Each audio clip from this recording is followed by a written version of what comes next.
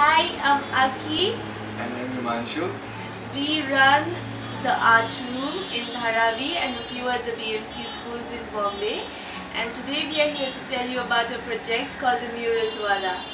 So Muralswallah is a plan to paint about 12 murals in different parts of the city. Uh, these are mostly neighborhoods which are undergoing forceful change. So it's going to be a bunch of workshops out of which images will be gathered. The workshops will look at where the neighborhood came from and the kids can kids as well as the youth from the community could understand how things have been happening in their neighborhood and then maybe they could come up with images that might be towards problem solving. Yeah, and these images will be painted in different parts of the city as well as in their neighborhoods, which will mean that they'll have their artworks exhibited permanently, which will give them a tremendous sense of confidence and uh, which will make the entire community happy as well because it will be a nice happy picture and colorful.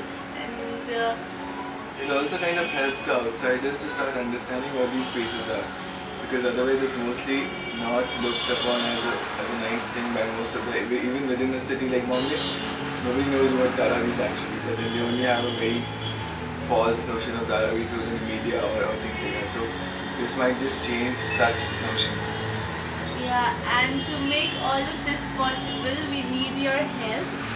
You will have to help us uh, collect an amount of one lakh ninety-eight thousand which will make the 12 murals happen. which also means like 12 murals so like 12 different workshops in 12 different sites all over the city. Yeah and uh, for that you'll have to log into and donated to us. And all the donations made via Orange Street is liable for tax exemption. So yeah please help us make it happen. our project is called the mural walas. Please please please help.